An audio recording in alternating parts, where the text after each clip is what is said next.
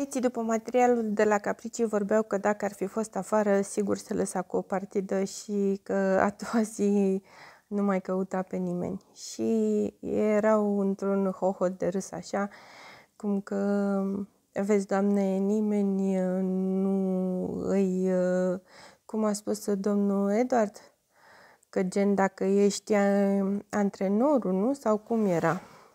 Nimeni nu-i dresează. Asta au spus, că nimeni nu-i dresează, că dacă ar fi fost afară, cu siguranță s-ar fi lăsat uh, cu o partidă de amor și poate că a doua zi nu s-ar mai fi căutat. Mie tocmai asta mi se pare o chestie așa băiețească de adolescenți, nu știu cum să o numesc, dar, uh, sincer, uh, plânsul Irinei, dacă mă întrebați pe mine, mi se pare că a fost cumva gen că s-a simțit uh, rușinată de ceea ce face, deși, așa cum spunea și ea, acțiunile sunt uh, doar ale ei și cumva ea merge într-acolo.